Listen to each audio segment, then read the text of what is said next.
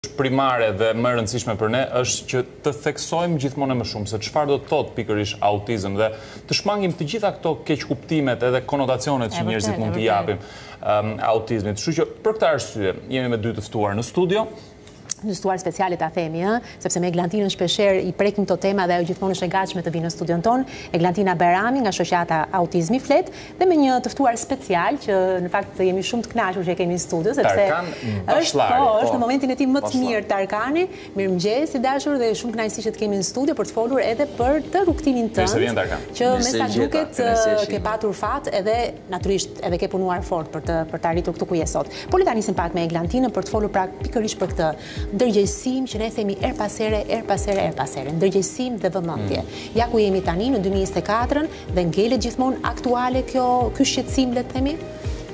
Normalisht, ju falenderoj një herë për ftesën. Faleminderit që jepni shumë zë autizmit sepse realisht është bërë sot shifrat janë shumë alarmante. Çfarë thonë shifrat? Shifrat vetëm rriten dhe sa vjen dhe rriten shumë, nëse dikur kanë pas klasa që nuk kanë pas fare fëmijë me spektrin e autizmit në në përbërjen e vet, sot nuk ka asnjë klasë që të jetë qoftë me një apo dy nxënës që frekuentojnë arsimin që kanë spektrin e autizmit. Që do të thotë edhe vetë arsimi ndoshta nuk e ka pritur këtë rritje kaq të madhe të vetë person, të personave me spektrin e autizmit, por ndoshta dhe bota vetë nuk ishte përgatitur. Mm. Mhm. Kështu që këto shifra sot, ne jemi në, në shifra shumë alarmante dhe një shkencëtar zviceran para shumë viteve që ka bërë studimet e veta ka thënë që në dy mijë e pesëdhjetë bota do sundohet nga personat me spektrin e autizmit. Nuk është sëmundje, sepse ka një... Pra ta shpjegojmë pak këtë, se është për të shmi të shmi shpesh. Edhe prezantimin në formë të tillë, sepse ka shpesh keqkuptime. Njerëzit duhet të dinë dhe duhet të dëgjojnë herë pas here, se çfarë do të thotë Çfarë do të thotë të jesh person i spektrit autik? Pra, nuk është sëmundje, sepse kemi një disinformim ose mos informim të personave që nuk e kanë ndoshta në familje sot, por duam apo s'duam ne, sot ka shumë familje të prekura dhe që i kanë në përbërje të vet dhe kanë filluar të kuptojnë dhe të mësojnë dhe të lexojnë se çfarë mhm. është. është një fenomen, quhet fenomen, për arsye se është një çrregullim neurologjik. Po. Që fillon nga çrregullimi në sjellje, futet edhe e folura, pastaj nuk është e lindur, është e fituar dhe nga vetë studimet që kanë bërë shkencëtarët është 17-18% e lindur. Nuk është e lindur. Jo.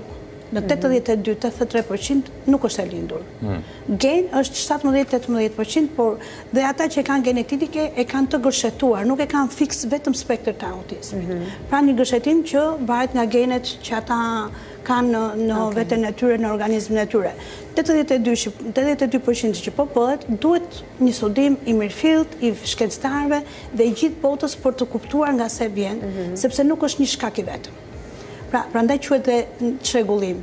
Nuk ka një shkak të vetëm autizmi. Ka disa faktorë, fillojmë që nga ushqimet. Nga ushqimet. Një nga shkaqet kryesore fare është janë ushqimet, pastaj të tjerat janë faktorë nxitës.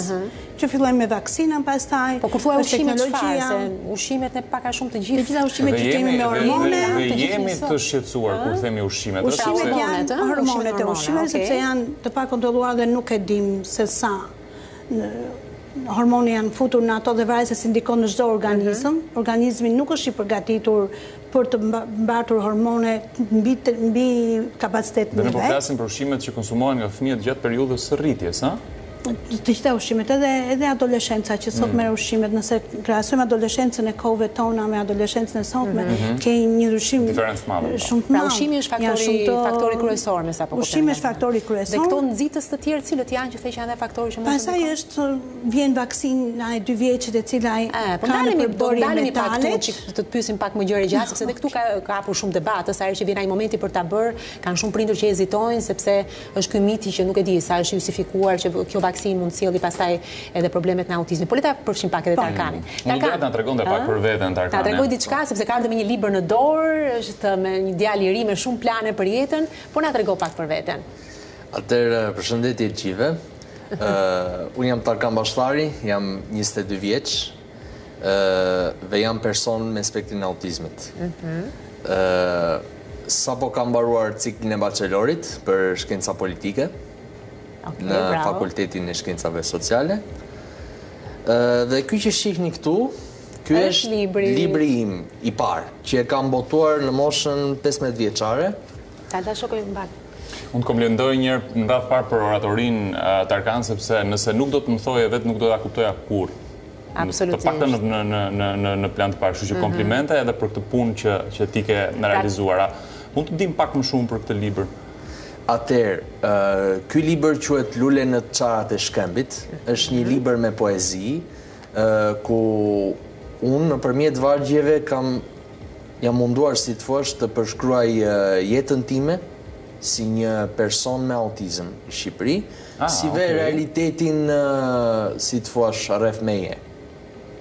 Si ka qenë realiteti rreth teje Tarkan? Ka patur si të thuash të mirat dhe të këqijat e veta, por që në përgjithësi ka qenë relativisht i dhimbshëm, sepse Me s'dashur përballesha me me shumë sfida, me shumë bullizëm, me shumë ë shqetësime mm -hmm. vërdall mbi mbi veten, mbi mm. familjen, mbi mbi çdo mhm. gjë. Dhe ku ka qenë periudha më e vështirë Tarkan? Mund të themi që ka qenë af, afërsisht rreth rreth adoleshencës, sepse duke qenë se unë në atë kohë unë edhe lëviza shpi, erdha në Kamëz, dhe në shkollën atje, unë domethënë ka pas nga ata shokë që më rrinin pranë, mhm. më kuptonin, më mbështesnin, po ka pas edhe të tjerë që domethënë kapeshin me mua për, për çdo gjë, kapeshin për faktin që unë isha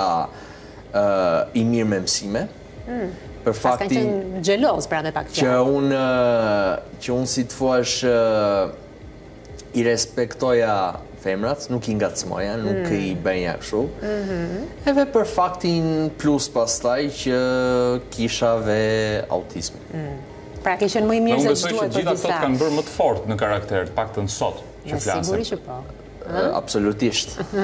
Po shikoj pak librin dhe është interesant, po më bën përshtypje që Edmond Tupja të ka bërë edhe parathënien. Edhe Edmond Tupja është nga ata njerëz që e ka përjetuar në lëkurë. Që ne këtu e duam shumë mirë, pak jo, po e ka përjetuar aq më tepër, po se kemi një të vjetër, por e ka përjetuar në lëkurë këtë gjë edhe është një prind që e di shumë mirë se çfarë do të thotë. Por Tarkan mendo pak, ke ndonjë poezi këtu që të pëlqen? Mua për shembull më tërhoqi vëmendjen kjo e para fare, që ka të bëjë pikërisht ti e ke titulluar Autiku. Po. Këto janë ndjesitë e tua, besoj, ë? Po. Se çfarë ndjen ti në këtë pozicion. Dhe thua, pesë vjeç isha në Stamboll, në një spital të madh publik. Pas shumë analizave, u diagnostikova autik. Se përse autizmi më zgjodhi mua, këtë as sot dhe kësaj dite nuk e di. Di vetëm që jeta ime rrodhi mes qiejsh të kaltër dhe shpesh me stuhi. Një anë të egër dhe një anë të butë, përsa i përket të qenurit autik. Nga Einsteini kam një dhuratë dhe shpesh realiteti m'i zgjon stuhitë. Pesimizmi dhe optimizmi, dy ndjenja që përleshen për ditë, por vetes dhe të gjithëve u premtoj se do të jetoj si më optimisti autik. Më ke rënqethur mishin ta dish gjithsesi, bravo. Komplimente. Pra si është të jetosh pikërisht si një optimist autik, se kjo është shumë e bukur. Tani s'pari unë dua të të komplimentoj një herë se ky ishte interpretimi më i bukur që kam dëgjuar dikë. Çfarë thua? Po e kam vetëm sa talente këta kanë tani. Gjithsesi, ja, vi, shfrytëzoj këto momente për t'i për t'i nxjerrë në pah. Kur ta bësh online mund ta marrim me shumë qejf. Pra, çfarë do thotë optimist autik? Ma shpjego pak Tarkan. Do të thotë që të pranosh veten për atë që je, mhm. ë duke ditur rrethanat që ke dhe të të punosh fort, të bashkëpunosh, të gjesh personat që kanë pikëpamje të përbashkëta me ty, vlera të përbashkëta me ty. Mhm. Dhe dhe dhe t'i bashkosh për një kauzë të përbashkët që është Ajo për për të mbështetur më shumë komunitetin tënd. Mm -hmm, bravo. Dhe ajo çfarë do shtoja unë, dhe të mos viktimizohesh, gjë që ti me sa duket nuk e ke bërë dhe bravo të qoftë. Mm -hmm. Po mirë, ecim më tej pak, se kemi shumë do... pyetje. Absolutisht, dhe shumë pyetje kemi edhe edhe për Eglën, në fakt. A ka një mënyrë se si mund ta shpjegojmë ne uh, pak më shumë diversitetin brenda spektrit autik? Besoj që diferencohet, ndryshon njëri spektër nga tjetri apo jo Egla?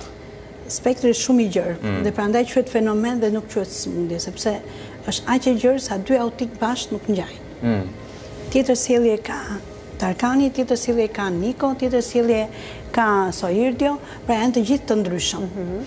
Dhe prandaj thuhet gjithmonë që këta fëmijë duhet të shkojnë automatikisht në shkollat gjithëpërfshirëse dhe jo në shkolla speciale në mënyrë që të integrohen, sepse ata nga natyra janë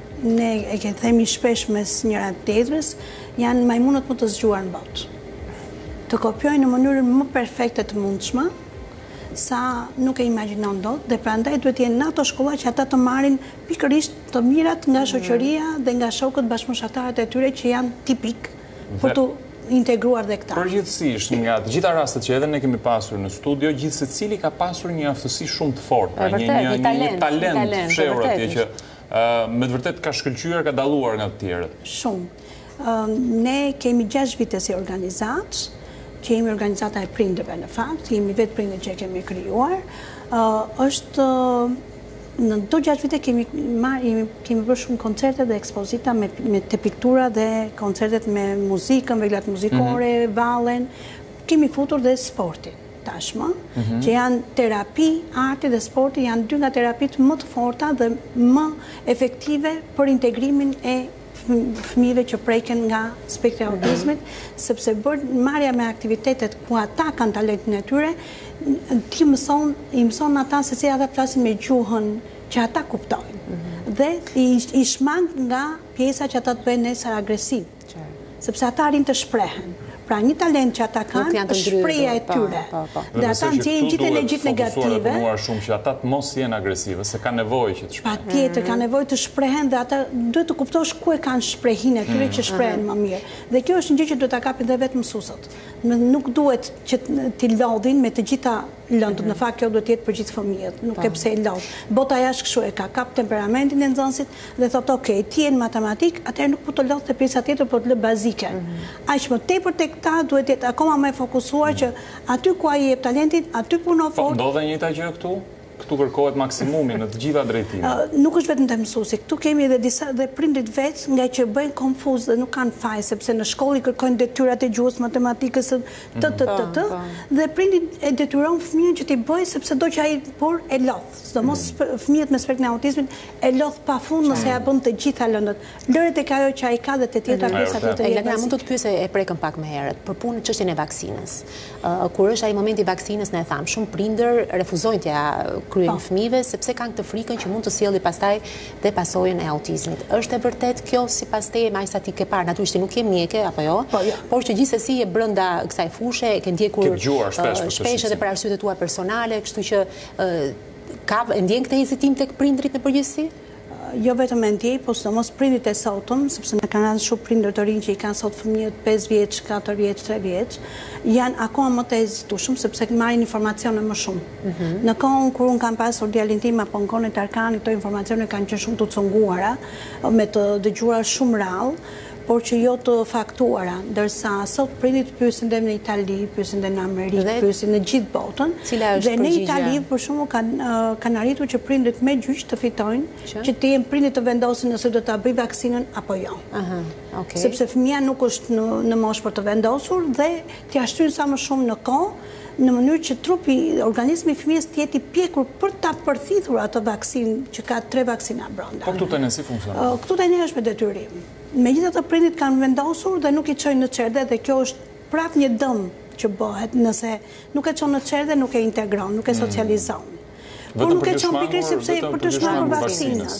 Pra, kjo do fillojmë dhe ne të bëjmë të ndjekim të njëjtën rrugë si në Itali, duke e çuar në gjykatë. Elatrina, mua më kujtohet kur e kemi trajtuar këtë temë, ne kemi patur një mjeke, në mos gaboj, një mjeke familje, nuk më kujtohet mirë, por që ka qenë natyrisht mjeke dhe di se për çfarë flet, dhe që me argumenta na tha që në fakt kjo vaksinë nuk e shkakton, pra pikërisht këtë, nuk e sjell autizmin. Bota është ndarë. Po ndoshta duhet kemi më tepër besim te mjekët dhe t'i lëmë këto, natyrisht të tërë ne kërkojmë në internet, gjejmë le të themi informacione, por mbase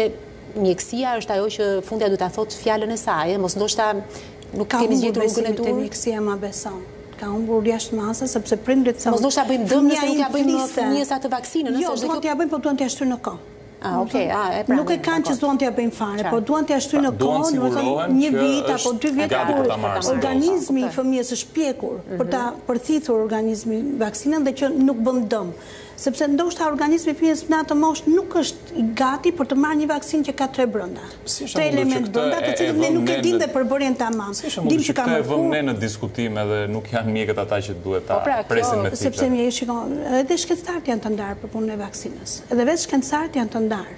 Dhe bota është ndarë në disa pjesë për punën e vaksinës. Dikush thotë duhet ndarë vaksinat, dikush thotë që jo po duhet bërë dhe është shumë efektive, dikush thotë jo s'duhet bërë fare. Mhm. Pra vetë ne si njerëz kemi një ndarje, qoftë edhe në familje po të jesh, e ke këtë ndarje. Ama neve na tremb pak edhe ky detyrimi, ëh, na na po, na sjell shumë shumë hije dyshimi, kjo të qenurit e detyrueshme. Patjetër dhe unë bile sot kemi prindër që thonë, ok, edhe në qoftë se do t'ia blej, unë do t'ia blej vetë, po do t'ia blej jashtë.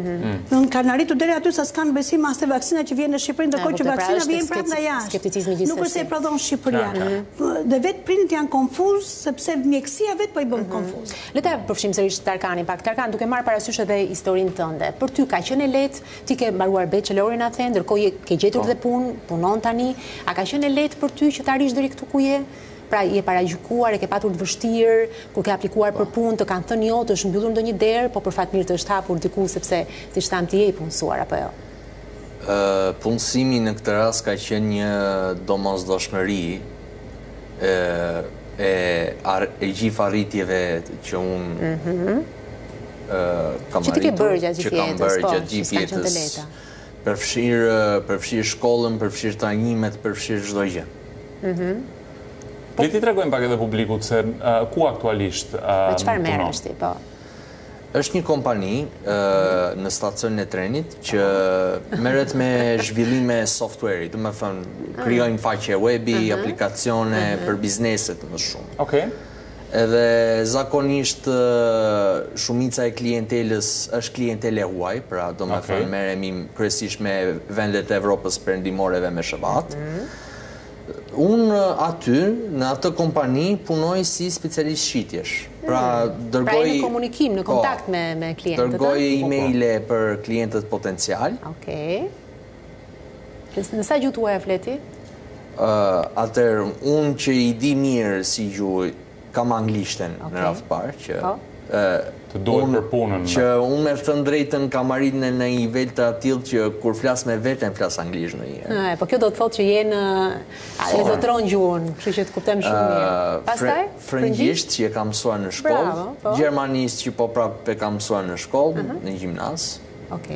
që këto i di pak a shumë. Dhe që i zotëron dhe që mund të komunikosh lirshëm po. me personat e tjerë. Dhe besoj që jeta jote ka qenë më e lehtë në këtë kompani, duke qenë se kompani e huaj, po thoje merresh më shumë me të huaj, dhe po. besoj që e kuptojnë edhe shqetësimin tënd pak më shumë se të tjerë. Po, pa tjetër. Mhm. Kështu që e ke më të lehtë. Po në fakt Landina ja, ne kemi një rast me fat, le ta themi kështu si Tarkani. Po sa i vështirë është pikërisht punësimi mm. i këtyre djemve dhe vajzave se jo se paragjykim, po pra kanë fatin e Tarkanit, ëh.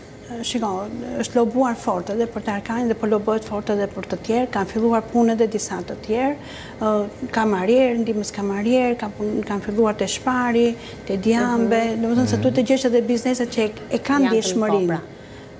Nuk është kaq e thjeshtë, domethënë që unë ne e çuam atje dhe ata e morën.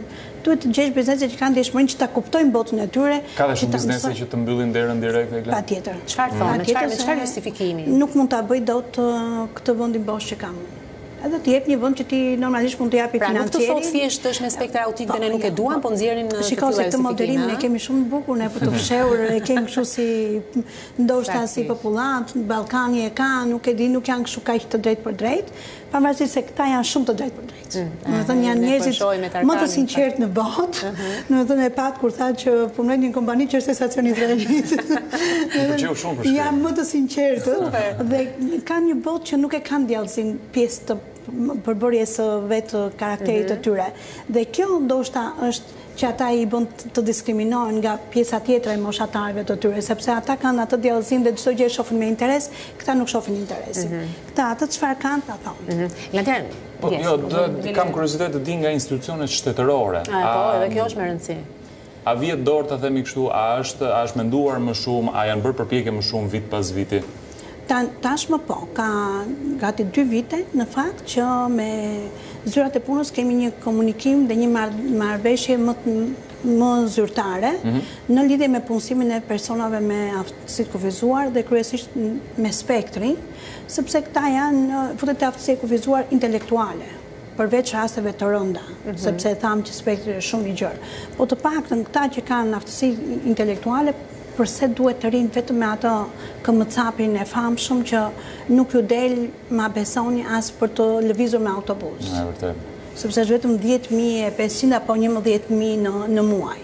Ndërkohë që këta rriten, kanë kërkesa si gjithë moshatarët. Persona si Tarkani, mund të jenë shumë më të aftë se shumë të tjerë po, që po. nuk e kanë spektrin e autistit. Këtë kanë thënë bizneset që kanë arritur t'i marrin dhe kanë thënë ne nuk e mendonim dhe nuk e besonim më përpara se t'i merrnim se si e bëjnë këta punë, nuk na e bëjnë këta të tjerët. E vërtetë. Sepse atyre po ju dhe një punë, domethënë, e vetëm e progresojnë punë. Mm. dhe arrin në kulmin e punës dhe e kam pjesë të rutinës vetë, do shkoj, kam kjo është puna ime, do e bëj dhe e bëj në mënyrën më perfekte të mundshme. Shqyr, nuk e di, duhet të kesh guxim të paparë të bullizosh, apo të ngacmosh, apo nuk e di të të ofendosh. Ajo është shprehje inferioriteti, asgjë më shumë. Jo, e kanë kthyer dhe në shprehje adoleshentët, dhe aman se aman autik. Dërkohë nuk e kanë idenë fare se çfarë. Dhe kjo është një mungesë në fakt në literaturën që duhet të futet tek pjesa e shkollës, e arsimit. Pra duhet të futet në Kurrikula. Egla, mund të prekim pak edhe anën tjetër të medaljes, sepse ne flasim për fëmijët, por kam përshtypjen që prek pak edhe familjen, prek pak edhe, jo pak, po shumë dhe prindërit, ti e ke dhe përvojën tënde personale. Çfarë do të thotë për një prind që të ketë një fëmijë, ne po përpiqemi të kuptojmë që fundja fundit mund të jetë edhe si gjithë të tjerët, me talentet e tij të veçanta, por që ndoshta për sytë e botës nuk është Normal, në thonjza le të themi kështu. Sa e vështirë është? Shiko, në këtë shoqërinë tonë shqiptare është shumë, po shumë e vështirë. Nuk po flasim harroji institucionet, por e fillojmë nga komuniteti ku jeton. E fillon nga familja ku jeton. Domethënë, ne kemi që brenda familjes që sapo merr vesh që vëllai apo motra ka mm. fëmijën me autizm, stepen, nuk do dëshironin që ata të shkojnë vizitë se mos më prish këtë, mos më prish atë, sepse nuk informon dhe sot me këtë teknologji të jesh i painformuar realisht është krim.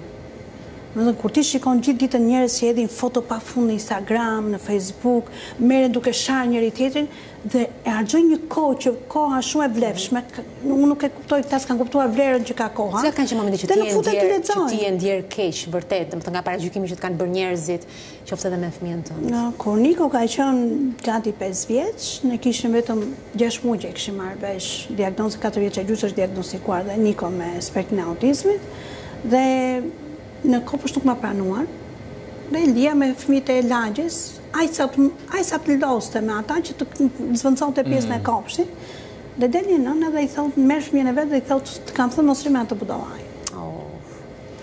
Domethënë ishte realisht një një vrasje e dytë pasi e kisha marrë vesh, por nuk thashë asnjë gjë, mora Nikon dhe kur vjen bashkëshorti i them kështu kështu ça i the absolutisht asnjë gjë.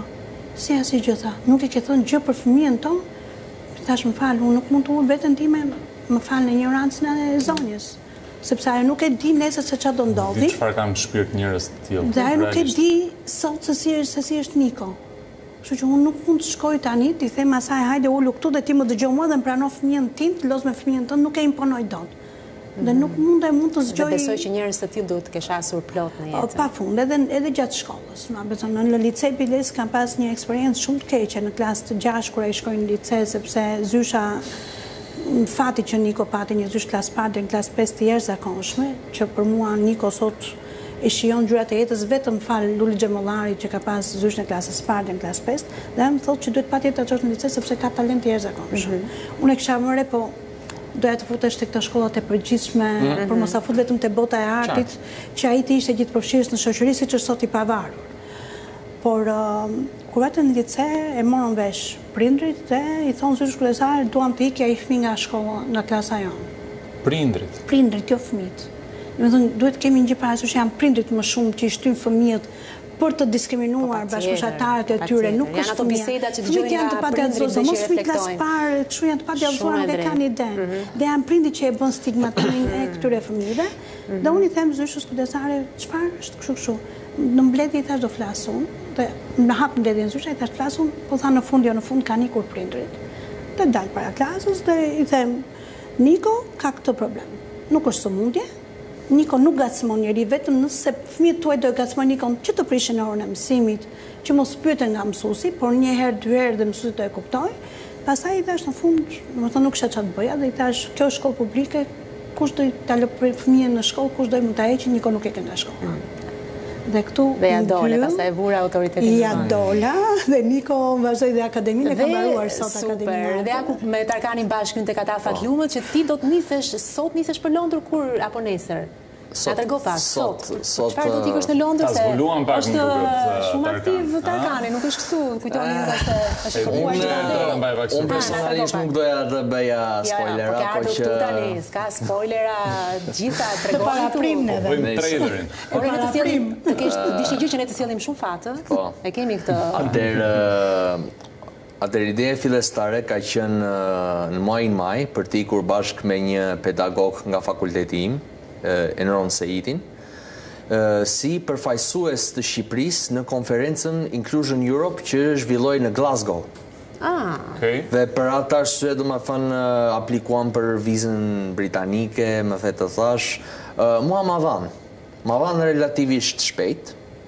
Sepse në Gazhu, pedagogut tim nuk ia dhanë.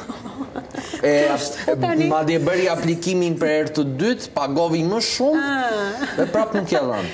Ja, dhe si të thua është ky udhëtimi i sotëm për Londër është një farë kompensimi. Pra ti do ikësh vetëm, pa pedagogun sot. Po. A, po një përvojë ke provuar tjetër të të hypësh avionit, të udhëtosh vetëm?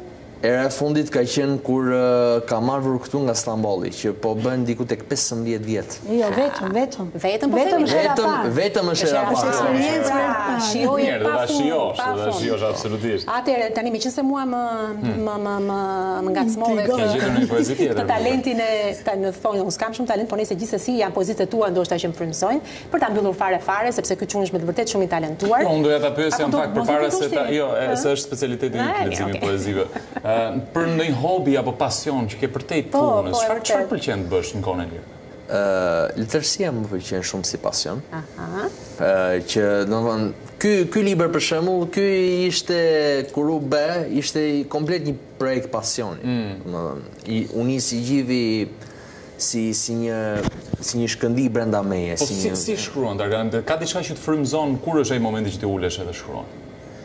Domethënë, uh, unë frymëzimin e kam më shumë të natyrshëm, mm. domethënë, kur vjen vetë natyrshëm, unë... Aty merr lapsin edhe, aty edhe fillon shkruan. Aty marr lapsin dhe shkruaj. Oke, okay. Tarkani ka dhe diçka tjetër, ka uh -huh. bën një moderim të jashtëzakonshëm. Jo, po ne e shohim që jo, dhe ne kemi pasur se ne kemi pasur për oratorin. E kemi pasur moderator të koncerteve tona gala në në çdo po dhe aktrimin.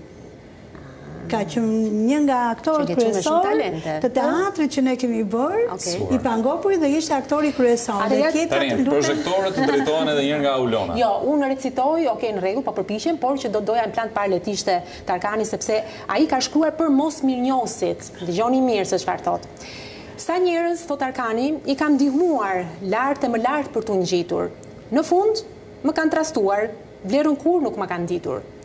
Nga humnera i kam shpëtuar, duke dhënë shembuj nga jeta, por të pabesë janë treguar, më lanë në humnerë brenda. Ecin ditëve me mendimin se ndaj meje kanë avantazh, por nuk e kuptojnë ku e kanë gabimin, prandaj, për ta, Kam këtë mesazh. Baras me vlerën e fildishit, një ditë, vlerën do ta kem. Vlerësojeni njeriun, se s'do të keni më shumë vlerë. Stop tani, tani ik drejtë në Londër. Do të vij dhe unë që jam më vogël Tarkan, të falenderojmë shumë që ishe me ne për të ndarë historinë tënde. Tarkan, kjo ishte hera e parë, po deshe edhe jo e fundit, kështu që sa herë të kesh nevojë, kur të nxjerrësh një libër tjetër, të promovosh punët e tua, ne jemi këtu. Dera Dakor? jonë është e para që hapet. Faleminderit Do na Egla. tregojë dhe eksperiencën kur të kthehet në Patjetër, nga Londra. fakt, Nëse doni, ne jemi në këtu. fakt, ë, Në fakt. ë, k- së fundmi kam ë, përgatitur një një libër të dytë që e kam hedhur tashmë për botim, kam kontaktuar me Toenën, Ah, është një super. Toena. Shtëpi serioze? Dhe me sa mora vesh unë, domethënë, do të ketë një farë bashkëpunimi me një institucion mhm. shtetëror që ishte për këtë pjesën e mhm. e këtyre botimeve, s'e di si e kishte, se s'e mbaj mend. Po mirë, atëherë kur të dalë botimi na thuaj dhe me siguri do bëjmë një bisedë në studio. Se kemi shumë për të pyetur edhe për ostim. Dhe s'do rastisë te promovimi i librit.